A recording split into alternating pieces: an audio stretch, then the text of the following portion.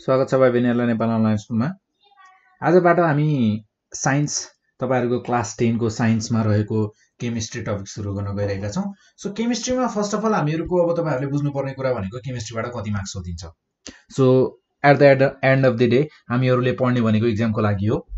र त्यसपछि इक्जामको लागि त पढ्ने नै हो फर्स्ट प्रायोरिटी त्यसलाई दिउँ अहिलेलाई। सो इक्जामको लागि पढ्छौँ र सँगसँगै हामी इक्जामको लागि पढिसकेपछि के गर्छौँ त एक्स्ट्रा कुराहरू पनि पढ्छौँ र एक्स्ट्रा कुराहरू पनि बुझ्छौँ जुन हामीलाई पछिको लागि धेरै फाइदा हुनेवाला छ। सो हामीहरूले अब इक्जामको लागि पढ्ने भनेर पनि हामीहरूले यहाँ रट्ने भन्न खोजेको होइन। इक्जामको लागि पनि लागि पढ्छौँ तर के गर्छौँ त बुझेर पढ्छौँ। इक्जामको लागि पनि एकदमै बुझेर पढ्छौँ र कोर्समा चाहिँ स्टिक भएर फर्स्ट पोइन्ट भनेको हामीहरूको कोर्ससँगै हामी बाँधिएर बस्छौँ। र सेकेन्ड पोइन्ट भनेको हामीहरूको आउट अफ कोर्स गएर पनि सिक्छौँ। सो हामीहरूको फर्स्ट अफ अल केमिस्ट्रीबाट तपाईँहरूलाई सोधिने भनेको ट्वेन्टी टू मार्क्स होइन?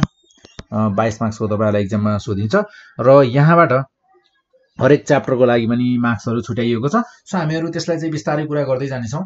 हरेक टपिक सुरु सुरु गरिसकेपछि हामीहरूको यो टपिकबाट चाहिँ यस्तो यस्तो टाइपको क्वेसन्सहरू सोध्न सकिन्छ। यहाँबाट चाहिँ सर्ट क्वेसन्सहरू यस्तो यस्तो आउन सक्छ भनेर पनि जस्तै मैले अब यहाँ क्लासिफिकेसन अफ एलिमेन्ट्स सुरु गर्न गइरहेको छु र यदि यो टपिक सिद्धियो भने हामीहरूले लास्टमा गएर चाहिँ यो टपिकबाट सोध्ने तपाईँहरूलाई क्वेसन्सहरू चाहिँ हामी हरेक क्वेसनलाई चाहिँ यहाँ डिस्कस गर्नेछौँ।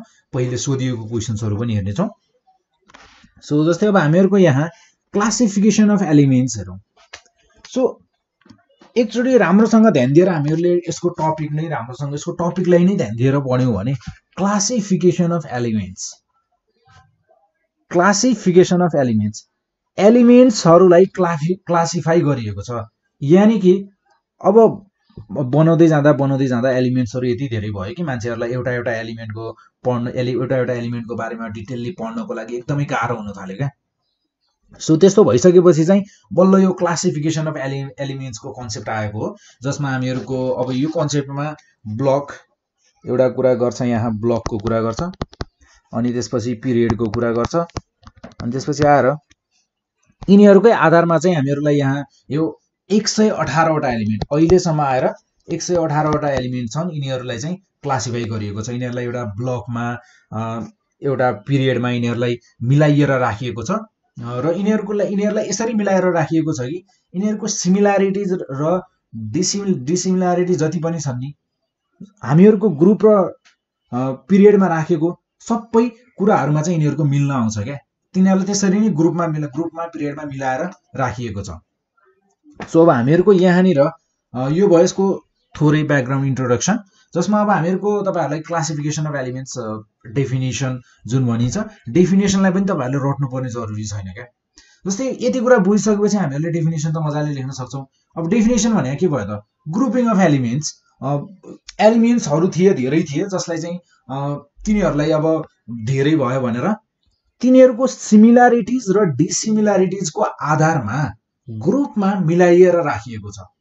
त्यो भनेको नै हामीहरूको के हो त? क्लासिफिकेसन एलिमेन्ट्स सो तपाईँहरूले यसलाई मिलाएर लेख्नु पऱ्यो भने के लेख्न सक्नुहुन्छ त? The grouping of elements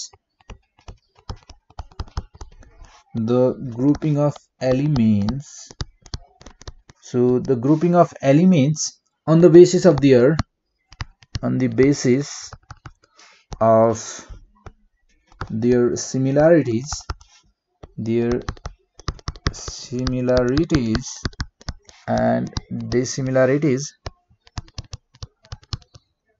similarities uh, mmi sorry dissimilarities uh, is the it's called the it's called the classification of elements. तपाईँहरूले यसरी आफ्नो डेफिनेसन यसरी मिलाएर या बुककै डेफिनेसन भन्नुहोस् यसरी लेख्न सक्नुहुन्छ। सो जहिले पनि अब हामीहरूको यहाँ डेफिनेसन बुकको नै हुनुपर्छ भन्ने जरुरी छैन। अब जस्तै यो डेफिनेसनमा हेर्दा एलिमेन्ट्सहरूलाई ग्रुपमा राखिएको छ। के को आधारमा?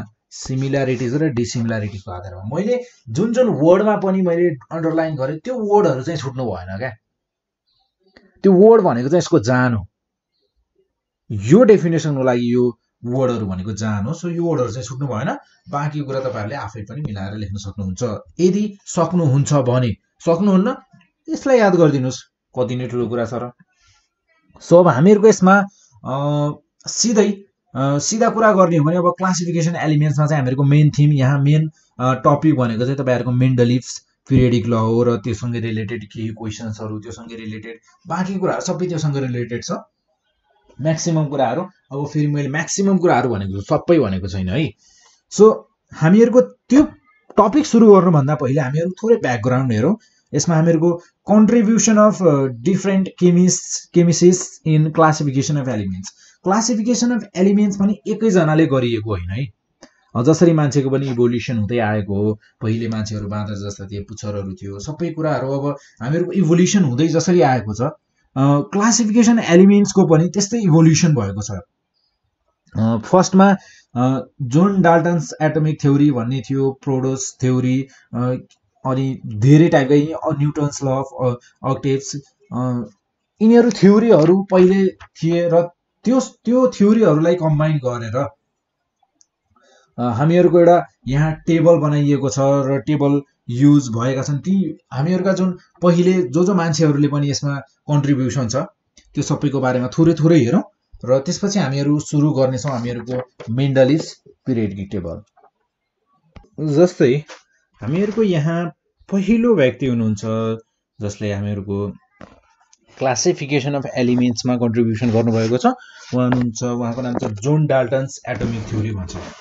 उहाँको यानि कि हामीहरूको क्लासिफिकेसन अफ एलिमेन्ट्सको हिस्ट्री चाहिँ यहाँबाट सुरु भएको रहेछ।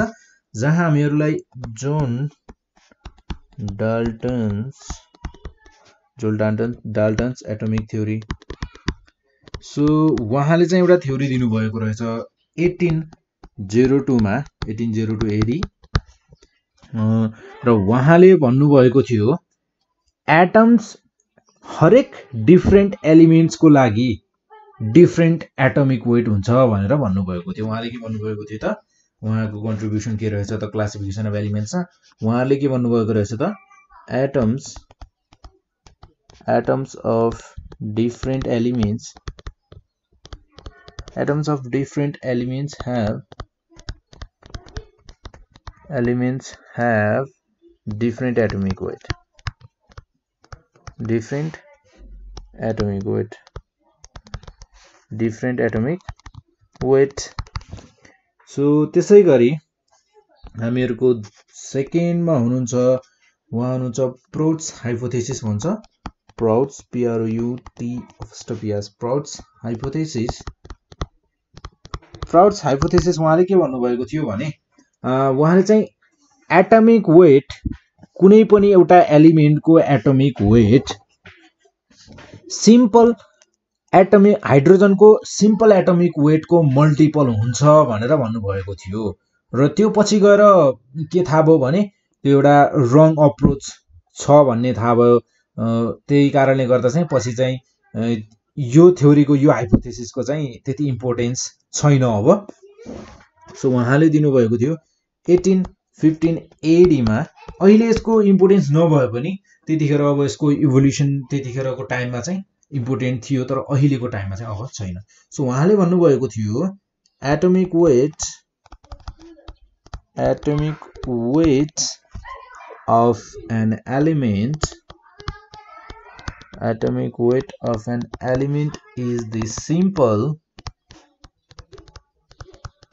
is the simple multiple multiple of the multiple of the atomic weight of hydrogen of a hydrogen atom hydrogen atom so त्यसपछि आउँछ हामीहरूको एटिन ट्वेन्टी नाइनमा जोन डोभेरी डोभरिन डोभरिनरले दिनुभएको छ एउटा ट्राइट्स भन्ने दिनु ल अफ ट्राइट्स भन्ने दिनुभएको छ। उहाँले भन्नुभएको छ Dobereiner's Dobereiner's law of triads. Law of ट्राइट्समा भनिएको छ यहाँनिर यो ट्राइट्स भन्ने जुन वर्ड छ यो ट्राइट्सले three try trial three triads भन्नाले यसले थ्री भन्ने जनाउँछ जसमा हामीहरूको यसमा के हुन्छ भने तिनवटा एलिमेन्ट्स लिइन्छ होइन जुन चाहिँ एउटा एउटा लाइनमा एउटा एरेन्ज गरिएका छन् जसलाई हामीहरूको इन्क्रिजिङ अर्डरमा एरेन्ज गरिएका छन् एटोमिक वेटको आधारमा। त्यस्तो एलिमेन्ट्सहरू तिनवटा एलिमेन्ट्स लिन्छ जसमा जस्तै इक्जाम्पलको रूपमा हेरौँ लिथियम एलआई सेभेन भयो सोडियम एनए जसको वेट हुन जान्छ हामीहरूको एटोमिक वेट भनेको ट्वेन्टी थ्री अनि त्यसपछि आएर पोटासियम पोटासियमको हुन जान्छ थर्टी नाइन अब हामीहरूको यहाँ यदि सोडियमलाई हेर्ने हो भने सोडियम सोडियमको एटोमिक वेट भनेको मिन वेट हुन जान्छ। के को र के को? लिथियम र पोटासियमको। जस्तै मैले लिथियमको atomic weight seven plus thirty nine गरेर टूले डिभाइड गऱ्यो भने नि मेरो ट्वेन्टी थ्री आउँछ। हो ट्राइड्स भन्नाले यही भनिएको थियो कि यो थ्योरीमा चाहिँ यो लमा चाहिँ के भनेको थियो भने यो हामीहरूको जुन मि बिचको एलिमेन्ट ट्राइड्सहरूमा जुन हामीहरूको तिनवटा एलिमेन्ट छ यो तिनवटा एलिमेन्ट एलिमेन्टहरू मध्येमा बिचको एलिमेन्ट चाहिँ एउटा mean element mean atomic weight हुन्छ भनेर भनिएको थियो। सो यो यो ललाई चाहिँ अप्रो यो ललाई चाहिँ यो ल भनिएको भनेको नाइन्टिन सरी एट्टिन ट्वेन्टी नाइनमा हो। र त्यसै गरी अर्को जाउँ हामीहरूसँग छ न्युल्यान्ड्स ल अफ अक्टेप्स भन्छ। So न्युल्यान्ड्स law of अक्टेप्स law of अक्टेप्स भन्छ जसमा हामीहरूको उहाँले के भन्नुभएको थियो भने एभ्री एट एलिमेन्टको एभ्री एट एलिमेन्टको एभ्री एट एलिमेन्टको प्रपर्टीहरू सेम हुन्छ भन्नुभएको थियो। फर्स्ट एलिमेन्ट जस्तै हामीहरूको फर्स्टको आठवटा एलिमेन्ट जुन हामीहरूको एरेन्ज गरिएको फर्स्टको आठवटा एलिमेन्ट छ नि त्यो आठवटा एलिमेन्टको प्रोपर्टीहरू चाहिँ सेम हुन्छ भनेर भन्नुभएको थियो। जस्तै lithium beryllium boron carbon nitrogen oxygen फ्लोराइडलाई हेर्ने हो भने यो आठवटालाई हेर्ने हो भने यसमा सबैको प्रोपर्टी सेम हुन्छ भनेर भन्नु उहाँले भनेअनुसार यो सबैको प्रोपर्टी चाहिँ सेम छ अरे। के को आधारमा त? लिथियमको प्रोपर्टी जे छ beryllium boron carbon nitrogen oxygen र फ्लोराइनको प्रोपर्टी पनि लगभग सेम छ भनेर भन्नुभएको थियो। त्यसपछि आउँछ हामीहरूको अर्को आउँछ यहाँ। तपाईँहरूलाई यदि यसको बारेमा अझै बढी जान्न मन छ भने तपाईँहरूले बुकमा नभए नेटतिर सर्च गर्नु सक्नुहुन्छ है। किनकि अब तपाईँहरूको कोर्ससँग हेर्ने हो भने यसमा चाहिँ जाने राख्दा राम्रो तर यो एकदमै इम्पोर्टेन्ट चाहिँ छैन। त्यही भएर मैले अलिकति चाँडो नै लिइरहेको छु यसलाई। सो हामीहरूको अर्को छ लोथर लोथर मियस कभ यो लोथर्मियस कप भनेको चाहिँ अब यहाँ कर्पको कुरा छ।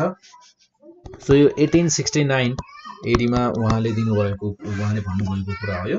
सो उहाँले भनेअनुसार चाहिँ उहाँले चाहिँ के गर्नुभयो भने एलिमेन्ट्सहरूलाई लिएर तिनीहरूको एटोमिक भोल्युम निकाल्नुभयो र एटोमिक भोल्युम र एटोमिक मासको ग्राफ प्लट गर्दा ग्राफ प्लट गर्दा के देखियो भने यसरी ग्राफ प्लट गर्नुभयो र ग्राफ प्लट गरिसकेपछि यस्तो यस्तो फिगरहरू आयो जसमा हामीहरूको जस्तै यदि यहाँ लिथियम पोटासियम